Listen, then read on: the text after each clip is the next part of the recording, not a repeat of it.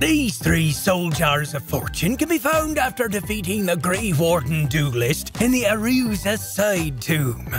And when summoned, they don't cost any FP, but will drain 135 HP. They'll waddle towards enemies and attack, and when defeated or struck with fire, they'll explode, doing damage to everyone around them, even you. I'll be honest, they don't deal a lot of damage unless you've upgraded them a lot, but for a build without a lot of FP that just needs a bit more explosion to start a boss fight off, or if you want to drop the Ruptured Crystal Tear into your flask and rush the boss with them, it certainly is a fun way to throw yourself into the fray.